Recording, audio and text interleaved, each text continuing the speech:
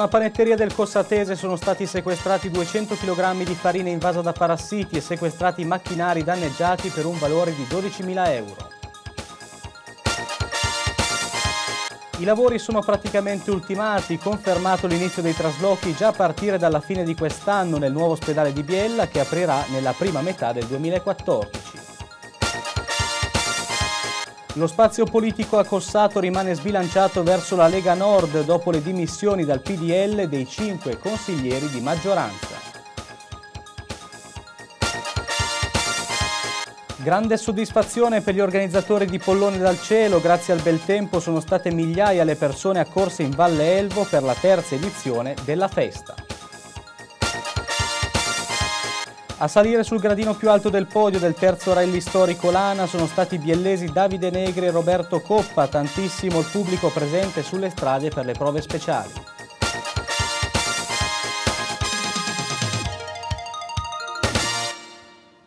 Cordiale buongiorno e un benvenuto a questa edizione in diretta del nostro telegiornale, un'ampia pagina di cronaca per iniziare. Un panettiere di 60 anni è stato denunciato poiché dopo un controllo dei NAS di Torino all'interno del suo forno è stata trovata farina variata e macchinari per la produzione del pane danneggiati. Sentiamo la cronaca di Elena Rovero. Un uomo di 60 anni, residente nel Novarese, è stato denunciato per detenzione ai fini di somministrazione degli alimenti in cattivo stato di conservazione ed invaso dai parassiti dai NAS di Torino. La perquisizione è avvenuta nel Cossatese nella giornata di sabato, a seguito di una richiesta dei carabinieri della zona interessata. I NAS hanno posto sotto sequestro ben 200 kg di farina di vario genere, che era conservata in sacchi aperti direttamente appoggiati sul pavimento invasa da parassiti e altri corpi estranei di colore scuro. È stata sequestrata anche un'intera linea di produzione del pane, poiché i rulli in stoffa con gomma piuma che venivano utilizzati per trasportare le forme di impasto dirette al forno per essere cotte erano talmente danneggiate da rendere probabili che parti di gomma piuma finissero in mezzo all'impasto stesso. In più anche tutta la parte meccanica era danneggiata. Infatti le maglie metalliche del rullo erano state riparate con del fil di ferro con riparazioni a dir poco sommarie che rendevano poco igienico il trasporto dell'impasto. I beni sequestrati ammontano a 12.000 euro. Ed ora una notizia che arriva dalla Valle Cervo, un ragazzo di 25 anni di Sagliano Miche e uno di 24 anni di Andorno sono stati denunciati per furto aggravato in concorso dai carabinieri di Andorno Micca. I due malviventi, già conosciuti alle forze dell'ordine, sono entrati in un bar e hanno portato via alcuni oggetti come una scala a pioli, una macchinetta del caffè e hanno danneggiato una pesa elettronica. Nel frattempo il sindaco del paese ha visto all'interno del negozio i ladri e ha chiamato i carabinieri. Mentre i due si davano alla fuga è iniziato l'inseguimento. I due giovani hanno preso una stradina secondaria dove hanno lasciato la refurtiva nei pressi di un cassonetto dell'immondizia. Non si sa se per abbandonarla definitivamente o se per poi recuperarla in un secondo tempo. Poi hanno preso la strada provinciale dove sono stati bloccati dai carabinieri del paese. Un'altra notizia di cronaca che non è di certo usuale nel Biellese, non tanto perché un uomo di 34 anni è stato arrestato dai carabinieri dopo essersi rifiutato di sottoporsi all'alcol test ed essere fuggito all'alta dei militari, ma perché i, alcuni passanti hanno ostacolato i carabinieri e le forze dell'ordine. Sentiamo il racconto. Un uomo di 34 anni, Rocco Morano, residente Cerrione, è stato arrestato dai carabinieri dopo un inseguimento per resistenza e violenza pubblico ufficiale, lesioni personali aggravate e rifiuto sottoporsi all'accertamento sullo stato d'ebbrezza.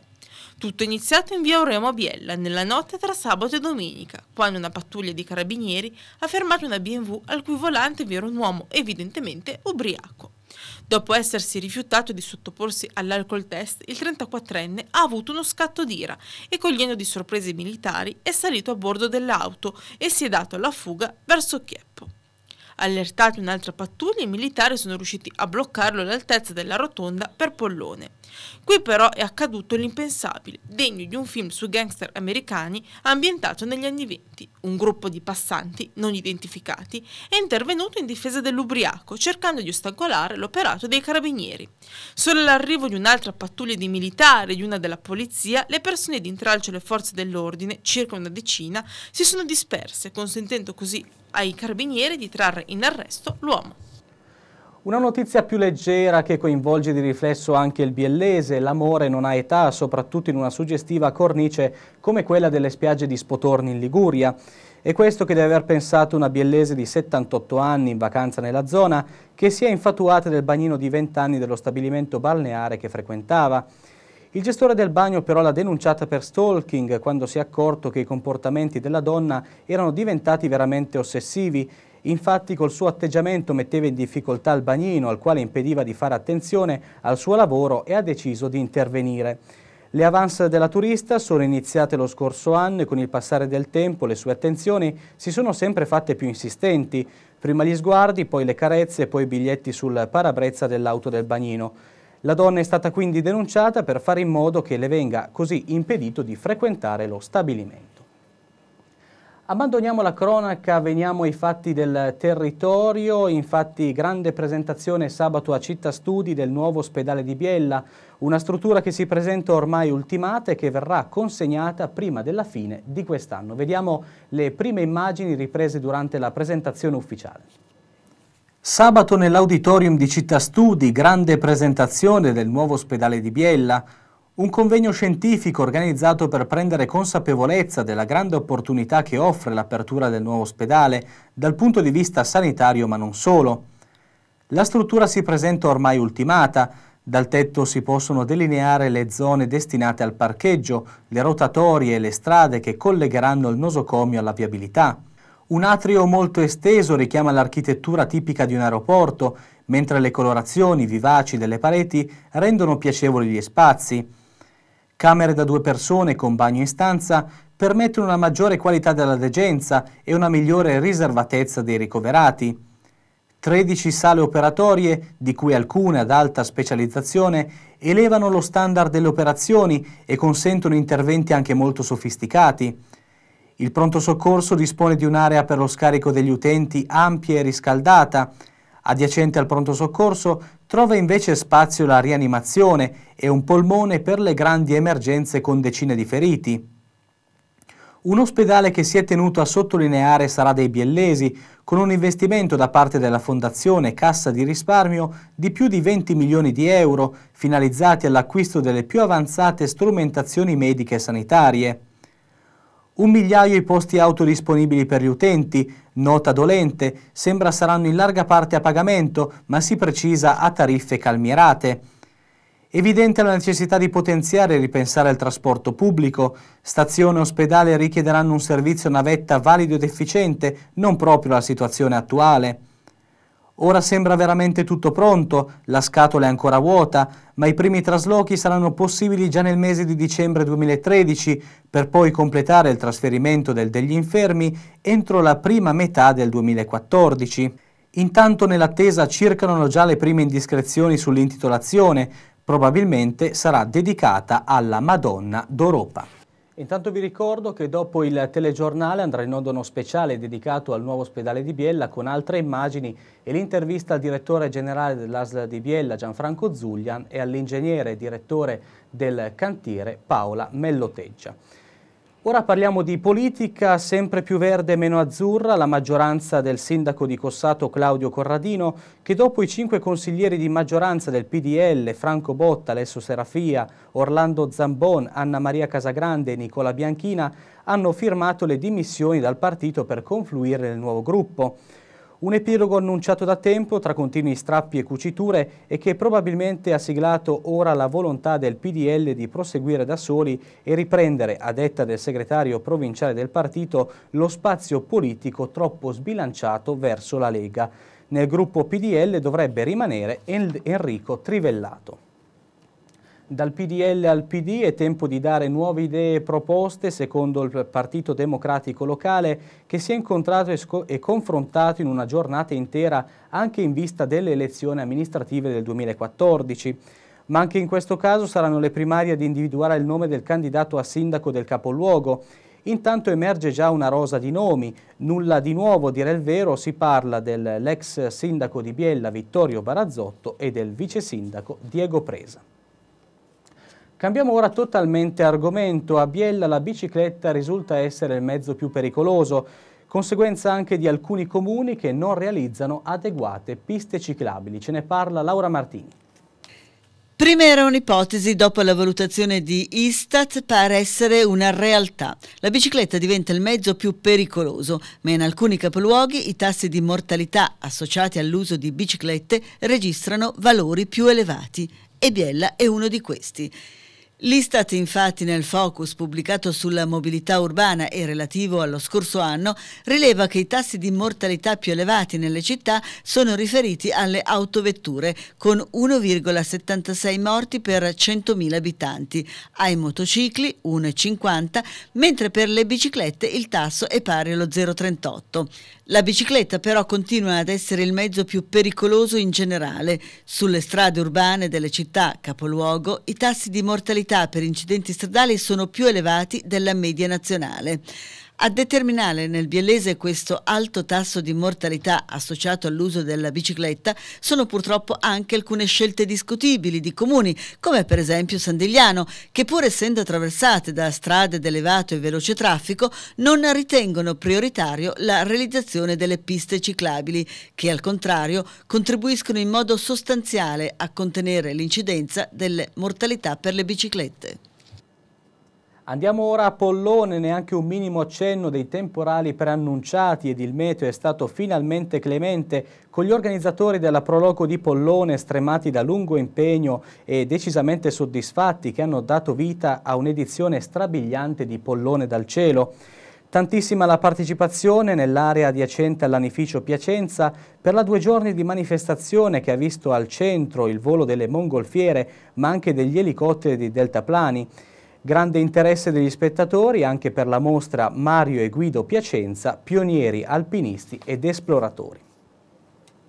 Da Pollone dal Cielo ci spostiamo al grande evento che ha coinvolto il Biellese, ossia il Rally Lana. Negri e Coppa hanno confermato la vittoria. Su 84 equipaggi iscritti, solo 49 hanno raggiunto il traguardo. Marco Fulcheris.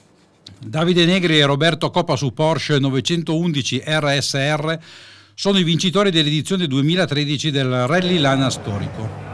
L'equipaggio è partito forte sin dalla prima speciale, in realtà la seconda in quanto la numero 1 è stata sospesa.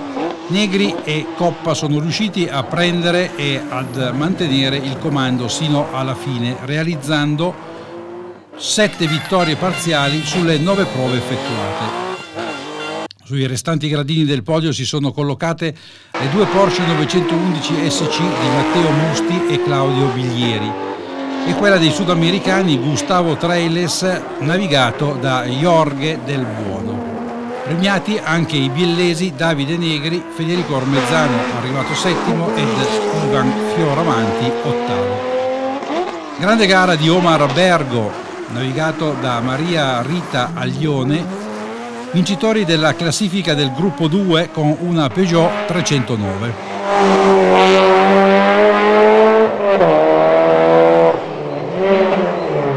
Con noi Davide Negri vince la terza edizione del Rally Lana storico. I biellesi ti avrebbero voluto su una lancia, però con la Porsche si vince sicuri. Ma in, qui negli storici sicuramente sono le macchine che in questo momento sono le, più performanti. Eh, sì, avrei voluto essere in tante cose, però purtroppo la fortuna è arrivata qua, e, però io sono già contento perché avere già rivinto due volte l'anno storico e il Rally Round e scrivere il mio nome sull'Albodoro due volte sono più che contento. Senti Davide, ieri ero proprio a Camandona con uno degli ex preparatori di Conrero, prendeva i tempi, diceva Negri, il piede di Negri su queste strade è difficile batterlo. Eh, probabilmente, non so, se aveva detto così sicuramente mi fa piacere perché è detto da queste persone che comunque hanno visto i rally di 30 anni fa arrivare adesso mi fa molto piacere. Con noi Federico Ormezzano, settimo assoluto, con una macchina che chiaramente non può competere con queste Porsche che ti sono state davanti, ma ieri ti abbiamo visto passare a Camandona, nonostante siano passati 30 anni, il piede c'è ancora. Beh, diciamo che a me basta aver vinto la speciale classifica dei quattro cilindri, perché avendo due cilindri meno della Porsche, la mia gara era contro le altre quattro cilindri, è stata una bella lotta con Ivan Fioravanti, con Giancarlo Risso, con parecchi altri. È chiaro che la mia macchina non, non, non è un aereo come questi, ma io corro ormai per divertirmi e devo dire che ho ancora una certa voglia di battermi, malgrado l'età non più giovane. Senti Federico, queste strade sono sempre ancora mitiche come era una volta, abbiamo visto anche un folto pubblico, forse non proprio sempre corretto in sicurezza, però è sempre ancora un successo sta gara, sia con le macchine moderne che con quelle meno. Ma sul pubblico spenderei una parola in favore del pubblico. Eh, chiaramente qualche testa calda c'è sempre, ma il pubblico biellese è molto ordinato e molto rispettoso delle indicazioni che vengono date dai commissari. Quindi forse all'inizio c'è stata un'interpretazione un po' restrittiva di quelle che sono queste manifestazioni. Poi si è tutto risolto, ma la gara sicuramente è una gara molto dura, molto selettiva che dimostra le difficoltà che ci sono. Vincere la Biella è sempre un bel biglietto da visita perché è una gara molto complicata e molto, molto impegnativa.